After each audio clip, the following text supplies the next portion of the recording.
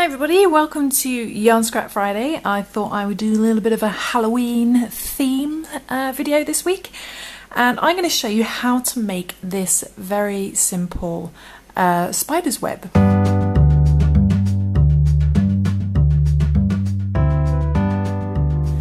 This spider's web has been um, just quickly pinned to um, this old table just so you can see the general shape. Um, but once you've um, finished completing uh, crocheting your spider's web what you can do is pin it to an old piece of wood like this and actually just use um, PVA glue or like that sort of you know white children's glue um, that you get. Uh, let it go hard and it should keep its shape a lot better. Or you can just um, keep the ends longer and just tie it to um, I don't know, a corner of your room to make it look really Halloweeny and spooky.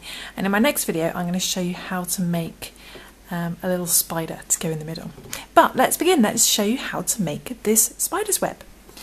Okay, so to make this spider's web, we're going to be using some white yarn, but you can use any colour yarn that you like. I'm using a DK light worsted weight yarn, and I'm going to be using a 3.5 millimeter E crochet hook to go with that. And it's a good idea, like I always say, to have a pair of scissors and a yarn needle for sewing in those ends. Okay, so the first thing to do is take your yarn and chain four. So we're going to chain four to begin. Chain four.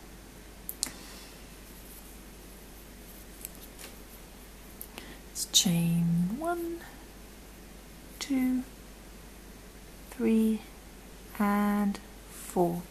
Then what we want to do is we want to slip stitch into our first chains. Find your first chain, just put your hook in there, bring the yarn through, then straight through the loop on your hook.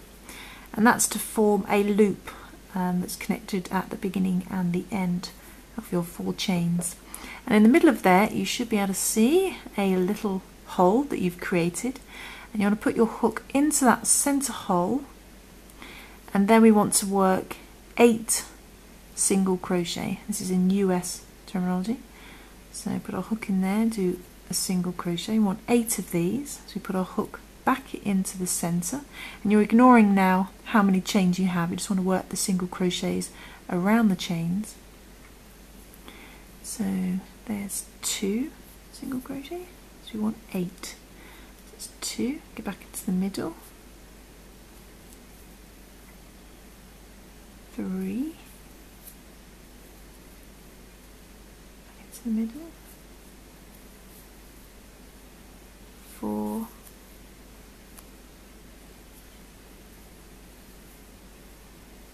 five,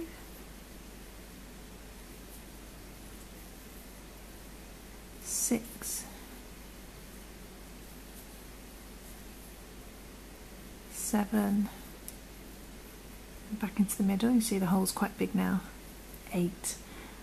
And you can pull your tail end, this little one here, a little bit just to bring that hole in if you want to. So you should have eight single crochet now. Two, four, six, seven, eight. And what we want to do is we want to slip stitch into our first single crochet. So you want to find your first single crochet that you made and put your hook into there. Under both little loops. And do a slip stitch. So straight through both loops. So by the end of that round you should have eight single crochet. Okay so then moving on to round two. What we want to do is to begin is we just want to chain two. Let's chain one and two and then we want to chain an extra chain as well. So you do another one, three. So at the beginning, you end up doing three chains. But the first two you're going to count as a double crochet. And then that last chain is going to be the chains that are in between the double crochets, which will make sense in a minute. So chain three, then wrap your yarn around your hook and go into the next stitch and do a double crochet. So go in there and do a double crochet. like so. It should look a little something like that. Then we want to chain one. That's our chain one in between. Like I said, that last one there is going to be our chain one in between. Then yarn over and in the next stitch we do another double crochet. Let's go into the next stitch and do a double crochet. Okay. Then chain one again. Then go into the next stitch and do a double crochet. And just repeat that round until you get back to the beginning. Let's get small yarn. Doing a chain one in between yarn over into the next stitch and do a double crochet.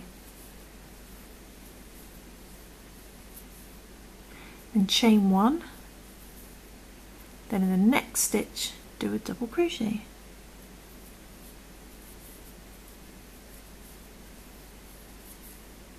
Then chain one. And in the next stitch do a double crochet.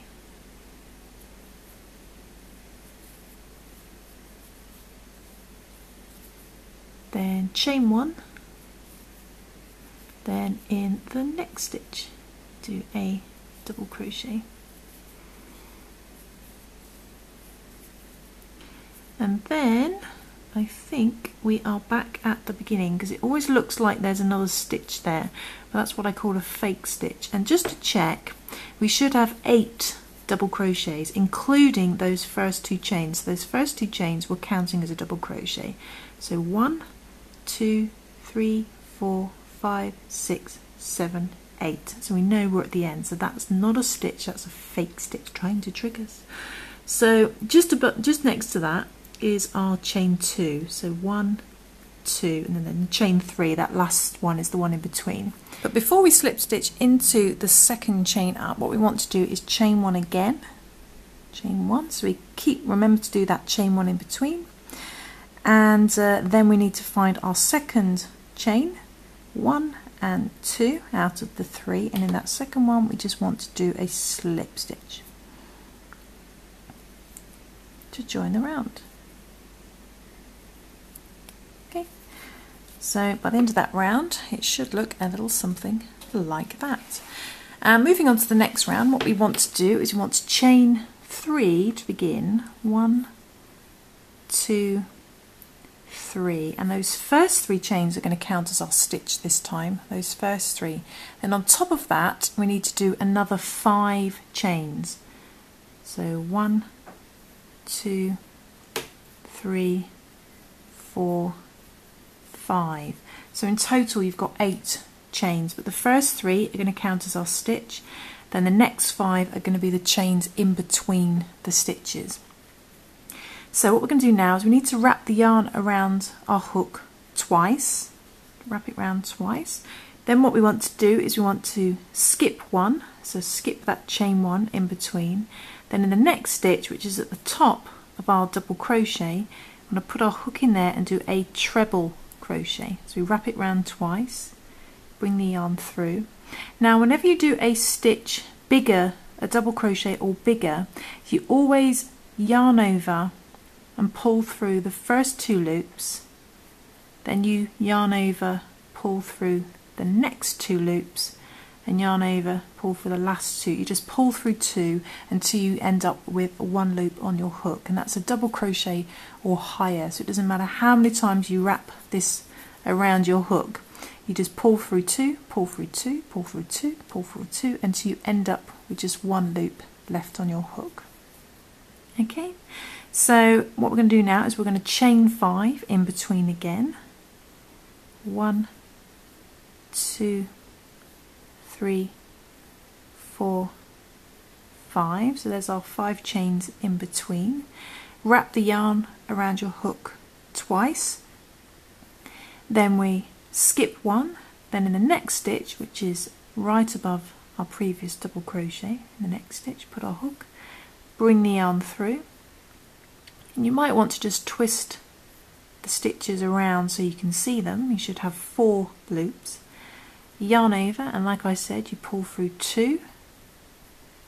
Pull through two. There's still two left so I'll pull through those two as well. And now I've got one loop left so we've finished. So just pull through two until you get to just one loop. Then we chain five again. One two three four five. Then we wrap the yarn around our hook twice. One two skip one in the next stitch. Bring the yarn through and then we pull through two pull through two loops pull through two loops pull through two loops until we end up with just the one loop and that's the end of our stitch. So you want to repeat that all the way around back to the beginning. So we're going to chain five. One two three four five. Wrap the yarn around the hook twice. Skip one into the next stitch. Bring the yarn through then do our pull through two pull through two until we end up with just one loop okay? Let's chain five one two three four five. Wrap the yarn around our hook twice skip one to the next stitch. Then we pull through two loops pull through two loops pull through two loops now I've got one loop left.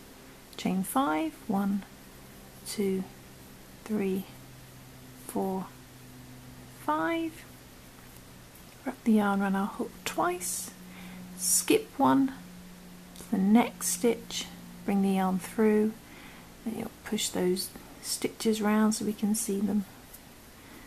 Then we pull through two. Pull through two loops. Still two left so let's pull through those two as well and now we've got our one loop left. Chain five one two three four five. Wrap the yarn around your hook twice. Skip one into the next stitch which is actually our last stitch. Bring the yarn through and then we do our pull through twos again. So pull through two loops pull through two loops. Pull through two loops. I've got one loop now. But before we slip stitch we need to make sure that we do our chain five. So you should still have one stitch left which is that chain one in between. But we're going to skip that. So we're going to chain five. One two three four five. Then we skip that chain one in between then we need to slip stitch into the third chain up which is the top of what we're counting as a stitch. So one two three in that third one up. We're going to do a slip stitch.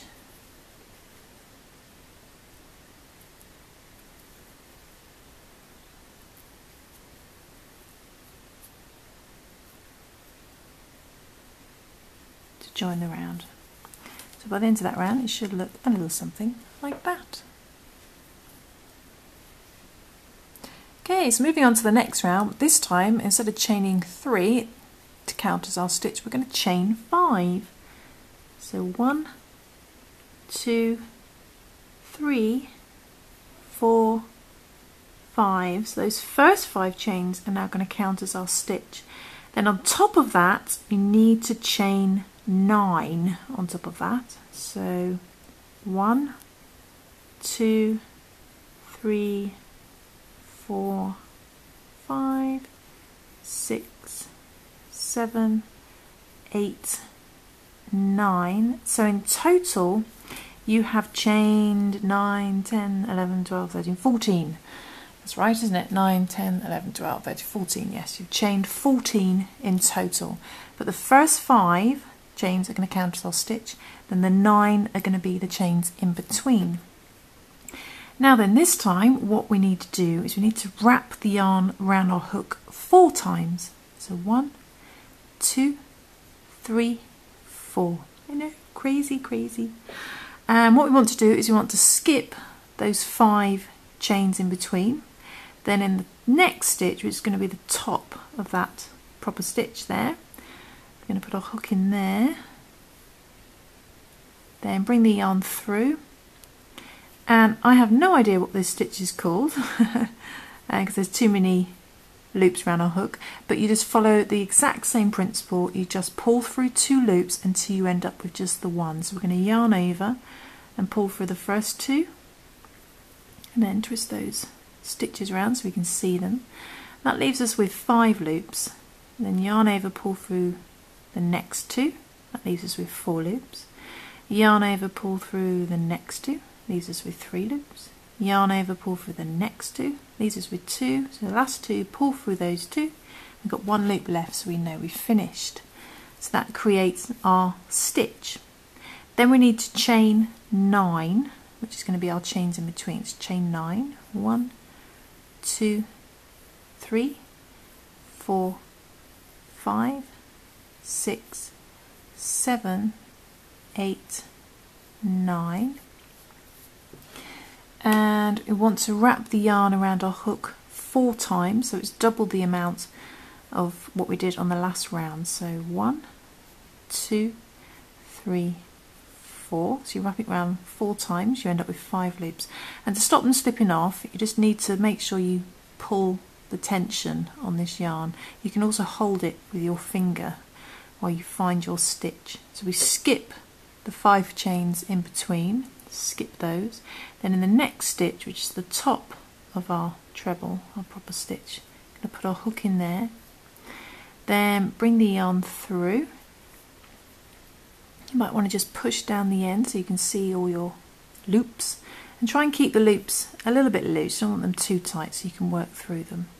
Then yarn over, follow the same principle of pulling through two, pull through two, pull through two, pull through two, got two left, pull through two, and I've only got one loop so now I've finished, and that finishes our stitch. So we do that again, we chain nine in between, one, two, three, four, five, six, seven, eight, nine.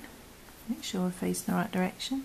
Wrap the yarn around our hook four times. One, two, three, four. Just hold it with your finger. You want to keep it a little bit loose, but not you don't want it really loose, it slips off. But loose enough that they can slide up and down. So just hold them into place. And this is the trick, just holding the tension on that and that stops them, otherwise they start to fall off. So four times just holding it in my fingers there. Skip the five chains in between, then in the next stitch, the top of our previous stitch, our hook bring the yarn through. Then make sure just around the ends you can see all your loops. Then we just need to pull through two until we get to the ends. Pull through two, pull through two, pull through two, pull through two, pull through two. I've got one left, so now I've finished and just repeat that round until you get back to the beginning. Chain nine, one, two, three, four, five, six, seven, eight, nine. Wrap the yarn around your hook four times. One, two, three, four. Just hold them with your finger and with the tension in your yarn. Skip the five chains in between then in the next stitch, which is the top of our previous stitch, bring the yarn through and then just pull through two loops until you get to just one. Pull through two, pull through two, pull through two, pull through two. I've got one loop left, so I know I've finished. So repeat that round until you get back to the beginning and I will show you what to do next. Okay. Okay, so you can see I've come to the last, I've just done my last stitch and we've got the last set of five chains in between before we end up back at the beginning. So before you slip stitch, you don't want to slip stitch like that, you've got to remember to chain nine in between. So we're going to chain nine, one, two, three, four, five, six, seven, eight, nine, so chain nine, we skip those last five chains down here. Then what you want to do is we want to count the first five, which we counted as our stitch. So one, two, three, four, five. And in that fifth chain up, we want to put our hook and do a slip stitch.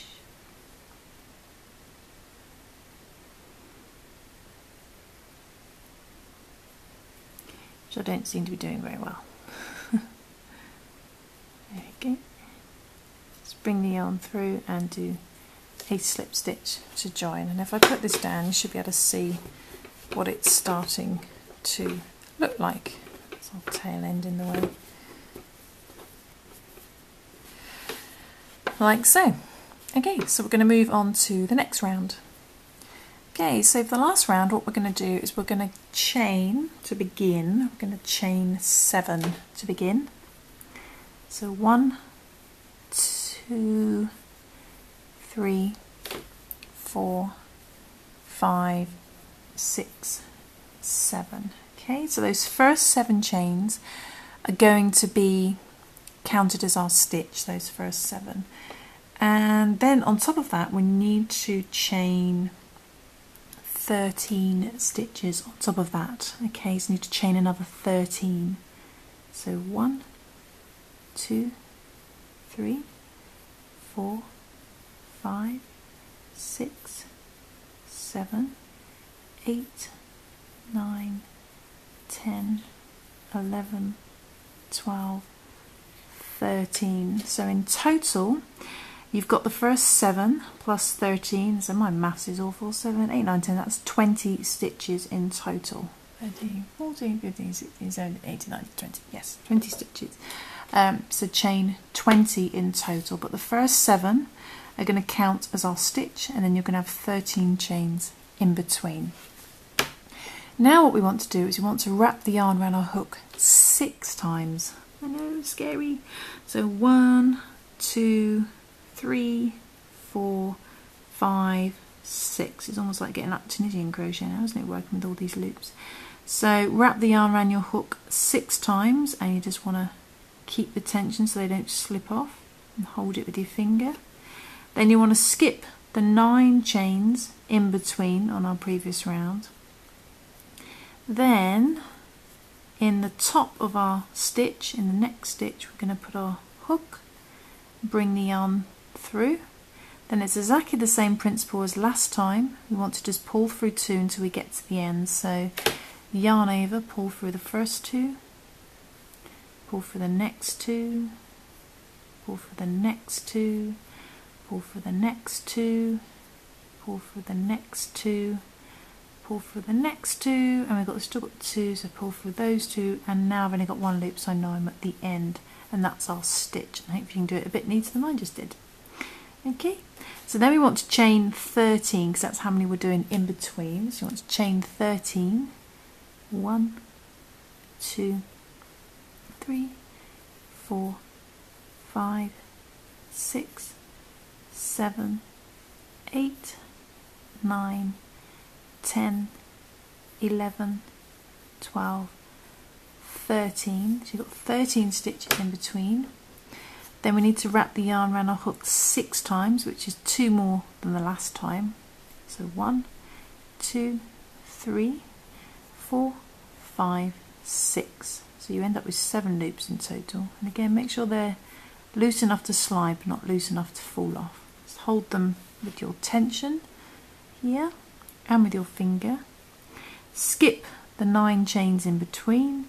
Then in the next chain, in the next stitch rather, the top of our previous stitch, we're going to put our hook, bring the yarn through, and then making sure they're all stitches facing all the right way so you can see them. We need to pull through two pull through two pull through two pull through two pull through two pull through two pull through two until you end up with just the one loop. Okay so you want to repeat that all the way around for all the other parts of the cobweb. No don't come undone There we go. So we chain 13 in between. One, two, three, four, five, six, seven, eight, nine, ten, eleven, twelve, thirteen. Chain 13. Wrap the yarn around your hook six times. One, two, three, four, five, six. So you've got seven loops in total skip the nine chains in between then in the next stitch the top of our previous stitch bring the yarn through then we just pull through two pull through two, pull through two, pull through two, pull through two, pull through two, pull for the last two till we've got one loop. That completes our stitch. Okay, so just repeat that around till you get back to the beginning and then I shall show you what to do next. So you need to chain 13 in between and wrap the yarn around your hook six times. Okay, so when you reach the beginning again, you should have the nine chains in between the last set, as it were. So you want to make sure you chain 13 to finish. So one, two, three, four, five, six, seven, eight, nine, ten, eleven, twelve, thirteen. Then you want to skip those nine in between. Then you want to count the first seven that were our well, that we were counting as our stitch. So count the first seven. One, two, three, four, five, six, seven. And in that seventh one, we want to do a slip stitch.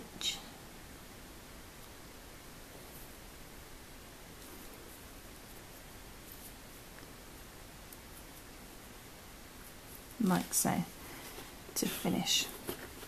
Okay, so there's our basic shape and like I say it needs a little bit of pinning down and uh, keeping its shape. That's why I recommend pinning it down into the shape that you want like this and um, then gluing it whilst it's pinned into place and then letting that dry and then it should keep a nice sort of starchy finish. Alternatively, you can of course have the ends and keep the tail ends long, which I'll show these end bit these end bits now, and keep these tail ends long, and you can tie all those tail ends to parts of your room or sellotape them to the wall, and then, then that should pull the shape out like a proper spider's web.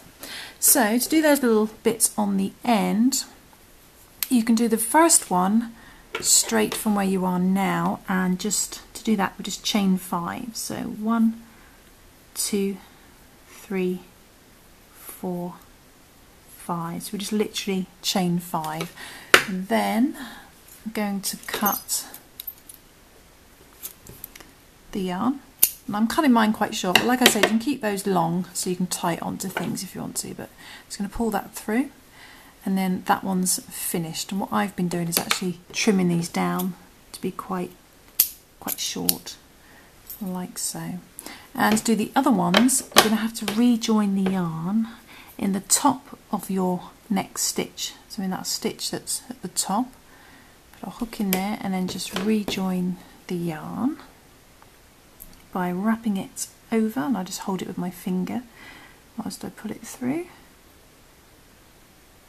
And then chain five. So one two three four five. So then chain five and then what I do is same again cut that. Pull that through. Creates and then put it tight creates a little knot and then I trim that down. And then what you're to have to do is get your yarn needle turn it over and then with the other tail end where we rejoined it we just want to pull the first of all pull it tight so it gets the end nice and neat. And then just sew just sew the tail end in so it's nice and tight make it all nice and knotted. I'm sure you could do a neater job if you've got more time. Then just trim the excess off. Like so. And then just repeat that for all the other ends of your spider web. So you just rejoin the yarn in chain five and then trim it down if you want to and then hide the tail end. So I'm going to repeat that for, well there's no point in repeating that for all the other five because you can see it on this one. On this one here I just repeated that for all the other ends, just chaining five and there is the completed spider web. So, and like I said, again you can just pin it into place if you want to and glue to keep its shape or you can just tie it to a corner of your bedroom to make it look like a spider's web. And in my next video I will show you how to make a little spider to go in the middle. Okay, well, I hope you found that uh, tutorial useful. I hope you enjoyed it and I hope you managed to follow along. And I hope it wasn't too fiddly doing the uh, endless wrapping around the yarn. Um, it's quite a good technique to uh, create larger stitches because you could te technically make them just as, as many times you could wrap the yarn around your hook. All you've got to do is pull through two until you get to the end and it creates really long stitches. So there we go. So I will see you soon for some more crochet fun. Thanks for watching guys. Bye.